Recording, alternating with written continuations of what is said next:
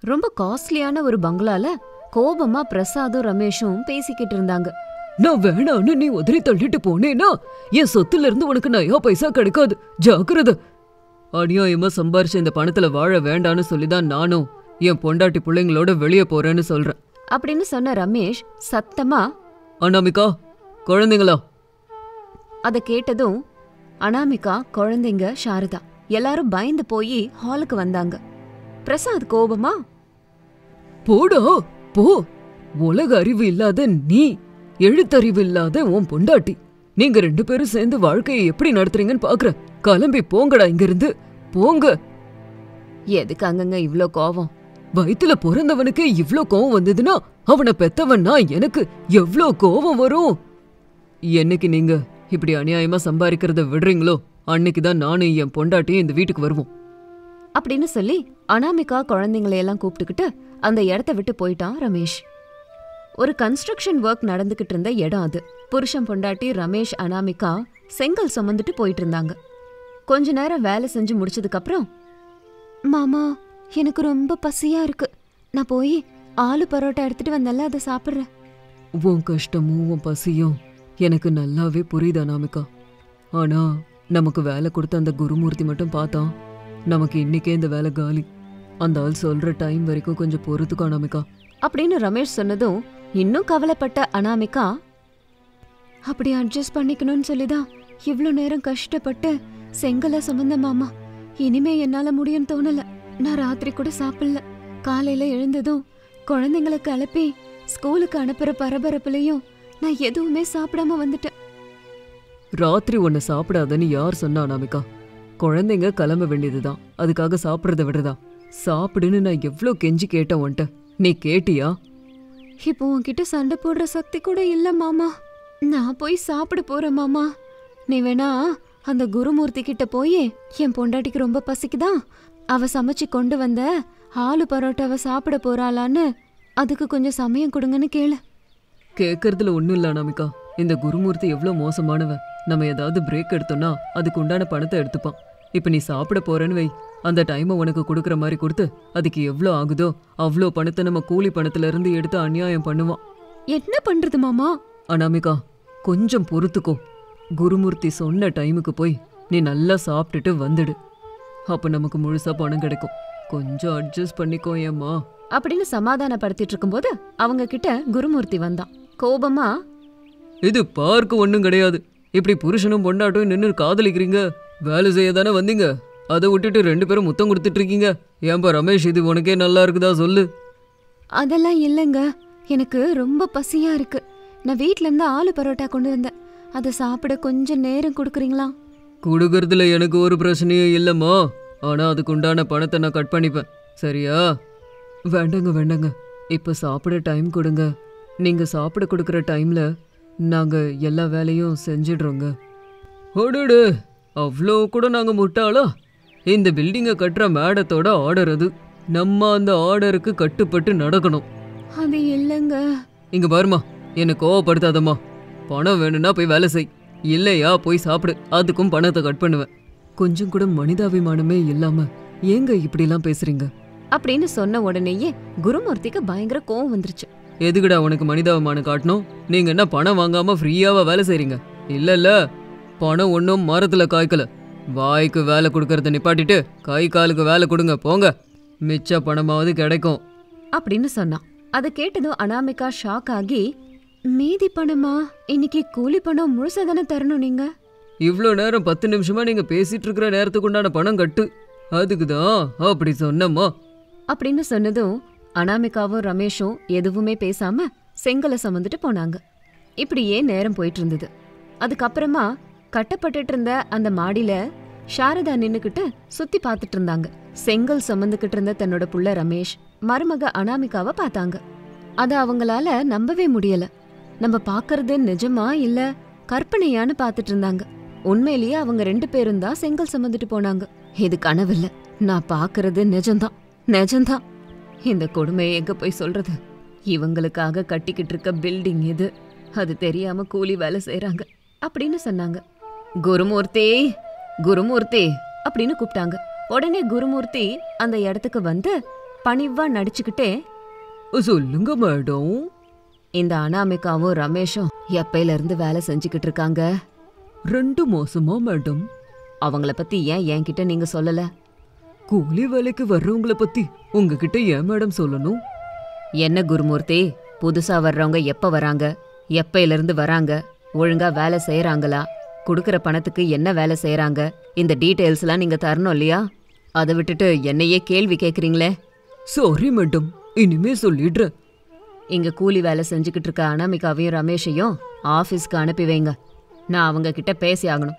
சரிங்க மேடம் நீ என்ன செய்வியோ ஏது செய்வியோ தெரியாது. அவங்க வந்து ஆகணும் நான் என் ஆஃபீஸ் ரூமுக்கு போறேன். அவங்கள அனுப்பிவிடு அப்படின்னு சொல்லிட்டு சாரதா அங்கிருந்து போயிட்டாங்க. குருமூர்த்தி இறங்கி வந்து மனசுக்குள்ளாரியே மேடமுக்கு தெரியாம நான் பண்ற கட்டிங் பைசாவை பத்தி இவங்க சொன்னாங்கன்னா நமக்கு வேலை போயிடும். வேற எவனும் வேலை கொடுக்க மாட்டான். இப்போ நான் இவங்க கிட்ட கெஞ்சி கேட்கணும் வேற வழி இருக்கா? அப்படின்னு ரமேஷ் அனாமிகாவை பார்க்க குருமூர்த்தி வந்தார். அனாமிகா ரமேஷ் உங்களை மேடம் பார்க்கணும்னு சொல்றாங்க. அங்க போய் அவங்கள பாருங்க. ஆஃபீஸ் ரூம்ல இருக்காங்க.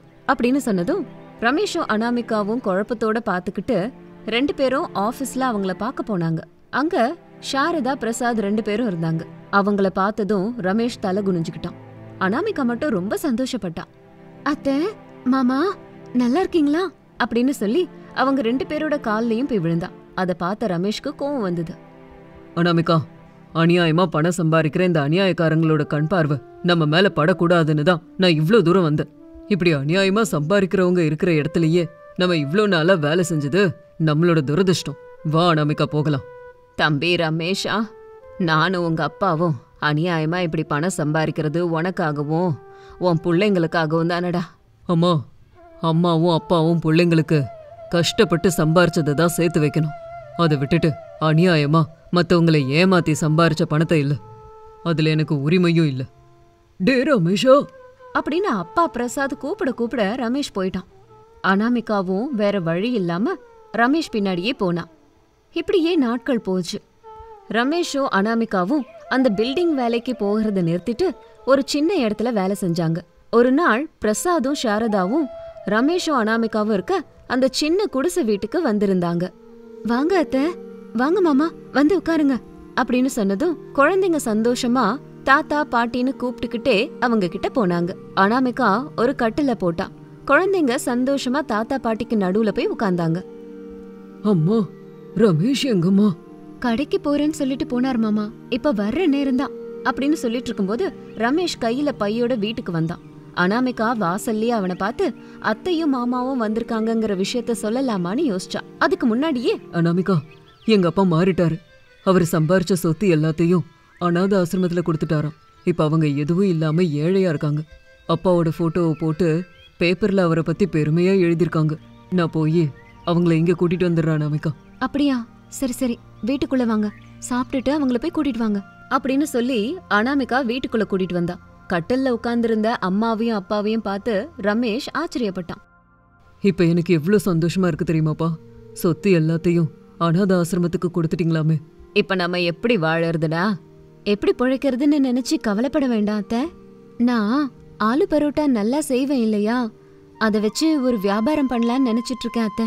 அப்படின்னு சொன்னதும் எல்லாரும் சந்தோஷப்பட்டாங்க. மறுநாளே அனாமிகா நல்ல மெயின் ஏரியாவா பார்த்து ஆலு பராட்டா வண்டிய பிசினஸ்க்கு போட்டான் நாட்கள் போக போக அனாமிகா தேர்ந்தெடுத்த இடத்துல அவளோட ஆலு பராட்டா பிசினஸ் நினைச்சதை விட ரொம்ப நல்லாவே போச்சு. அது மூலமா சம்பாத்தியத்துக்கு வந்த பிரச்சனைக்கு முடிவு வந்தது. கொஞ்ச நாள்லயே சின்ன கடையில இருந்து பெரிய ஹோட்டல் வைக்கிற அளவுக்கு அவங்க கிட்ட பணம் வந்தது. மாமனார் மாமியார் குழந்தைங்க எல்லாரையும் ரொம்ப சந்தோஷமா பாத்துக்கிட்டா அனாமிகா. ஆலு பரோட்டா பிசினஸ்ல யாரும் சாதிக்க முடியாததை சாதிச்சா.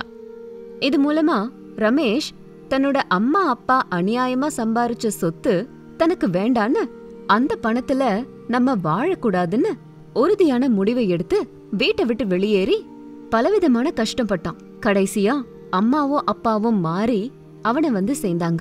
இப்ப எல்லாரும் சேர்ந்து சந்தோஷமா ஆலு பராட்டா பிசினஸ் பண்ணி வாழ்ந்து வராங்க. ஒரு குடிசு முன்னாடி இறந்து போன ரமணா சவம் இருந்தது. தலைமாட்டில் விளக்கு எரிஞ்சுது. அகர்பத்தியும் எரிஞ்சிட்டு இருந்தது. பக்கத்துல அவரோட மனைவி சுமித்ரா அழுதுகிட்டு இருந்தா. ஊர் மக்களோட சேர்ந்து மாமியார் சாரதா ஏழை மருமக அனாமிகாவும் அங்க இருந்தா. கவலையோட கண்ணீர் விட்டுக்கிட்டு இருந்தாங்க. வேலை செஞ்ச இடத்துல பத்து மாசமா சம்பளம் கிடைக்காததால மனசு விட்டு போன நீங்க தற்கொலை பண்ணிக்கிட்டீங்க. இப்படியே வாழ்க்கையை இருட்டாக்கிட்டு போயிட்டியா குழந்தைங்கள அப்பா இல்லாதவங்கள ஆக்கிட்டியா இந்த குழந்தைங்கள வச்சுட்டு இனி நான் எப்படி வாழ்வேன்? இந்த பிள்ளைங்கள எப்படி வளர்ப்ப? அப்படின்னு ரமணாவோட மனைவி சுமித்ரா உட்காந்து அழுதுகிட்டு இருந்ததால அங்க இருந்த எல்லாரோட மனசும் கலங்கி நின்னுச்சு. ரமணாவோட சேர்ந்து அதே கம்பெனில வேலை செஞ்சுக்கிட்டு இருந்த அவங்க அவங்க கணவர்களை பத்தி யோசிக்க செஞ்சது. அனாமிகாவும் சாரதாவும் கூட அந்த இடத்த விட்டு கண்ணீரோட அவங்களோட வீட்டுக்கு போனாங்க. ஏண்டிம்மா ரமேஷ் கூட இந்த ரமணா வேலை செய்யற கம்பெனில தான் செய்யறான்ல ஆமா அத்தை ரமணா வேலை செஞ்ச கம்பெனில தான் செய்யறாரு அது ஏன் இப்ப கேக்குறீங்க?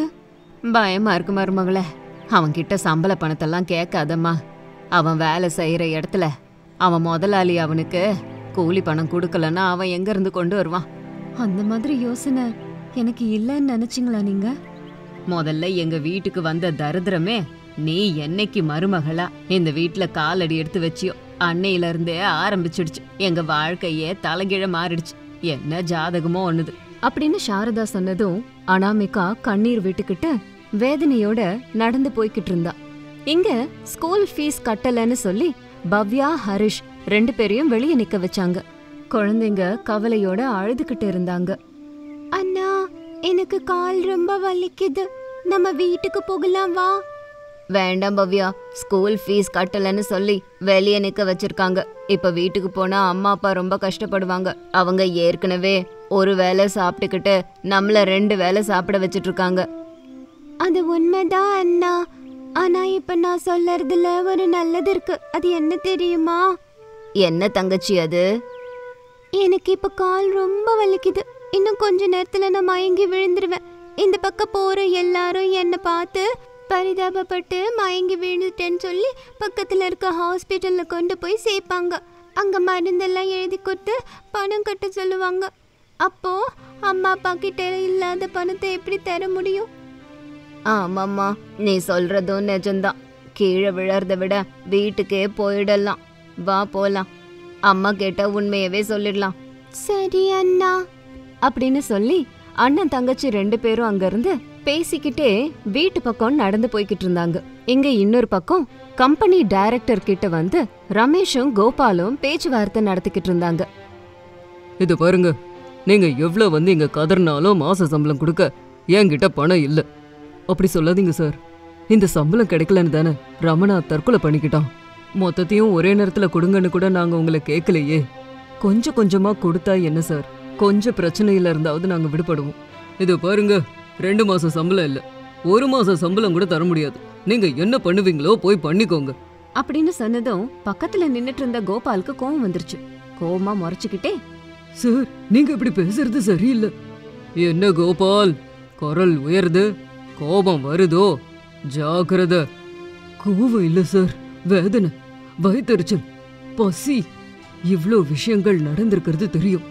அட்லீஸ்ட் செத்து போன ரமணாவோட இறுதி சடங்குக்காவது கொஞ்சம் பணம் கொடுங்க சார். அப்படின்னு சொன்னதும் சுதர்ஷன் ரமேஷ்க்கு கொஞ்சம் பணம் கொடுத்தான். ரமேஷும் கோபாலும் அந்த இடத்த விட்டு கிளம்புனாங்க. ஹரிஷும் பவ்யாவும் ஸ்கூலை விட்டு வீட்டுக்கு வந்தாங்க. வழியில ஒரு தாத்தா மயங்கி விழுந்து கிடந்தாரு ஒரு மரத்தடியில. தாகம் தாகம். அப்படின்னு அந்த தாத்தா புலம்பிக்கிட்டு இருந்தாரு. குழந்தைங்க அவரை பார்த்து பேக்ல இருந்த வாட்டர் பாட்டிலை எடுத்து அவருக்கு நிறைய தண்ணி கொடுத்தாங்க. அந்த தாத்தா எந்திரிச்சு குழந்தைங்கள பார்த்து பசங்களா எந்த அகத்தை தீர்த்து என் உயிரை காப்பாத்துட்டீங்க? உங்ககிட்ட கொடுக்க இந்த எலுமிச்சைய தவிர என்கிட்ட எதுவும் இல்லை. அதனால இத நீங்க பூஜை அறையில வையுங்கடா இத அம்மா கிட்ட சொல்லுங்க.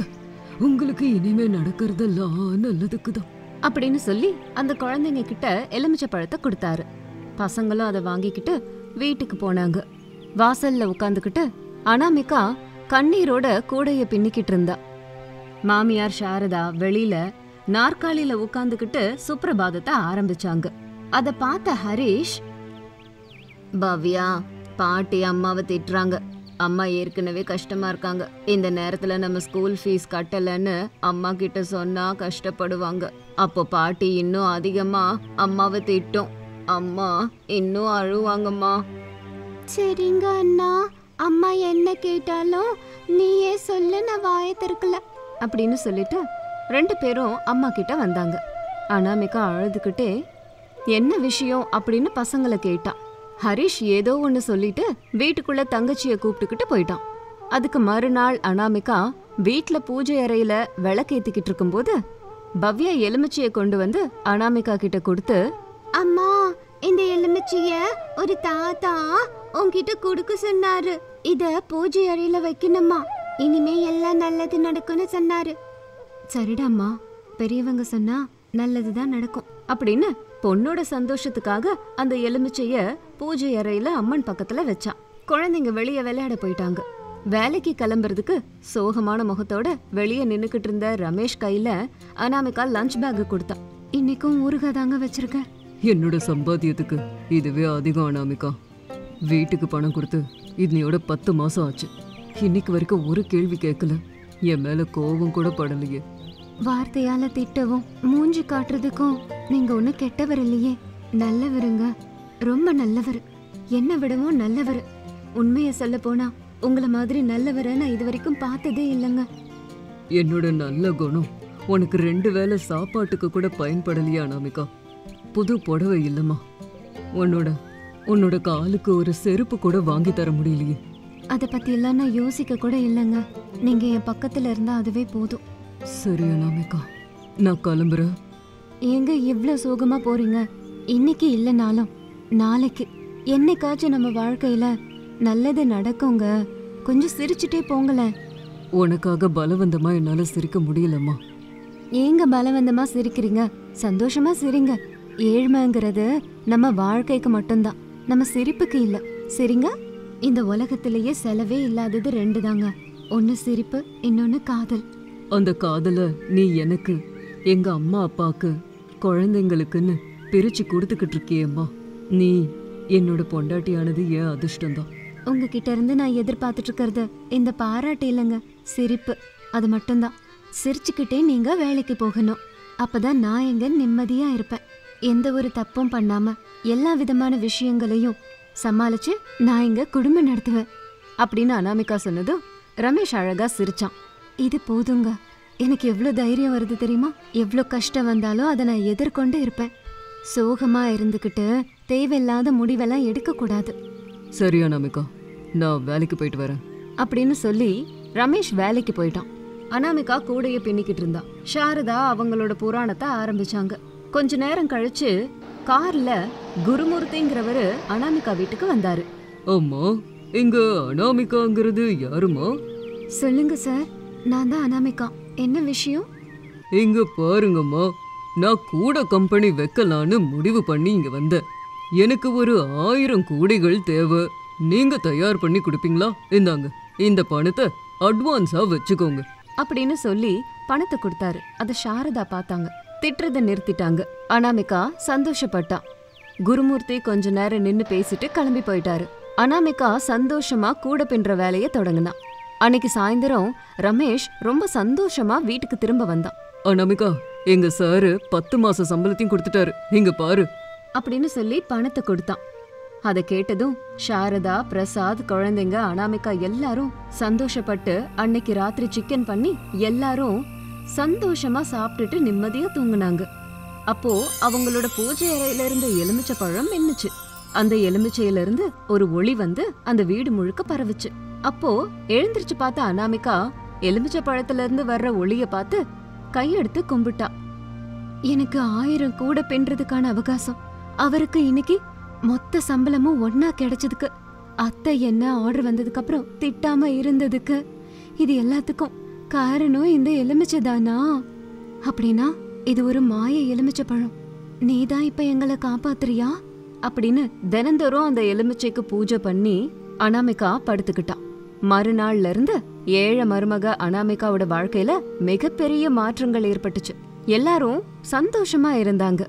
இது இன்னைக்கு ஸ்டோரி இதே மாதிரி இன்னொரு ஸ்டோரியோட உங்களை நாளைக்கு மீட் பண்றேன். அது வரைக்கும் பாய் பாய்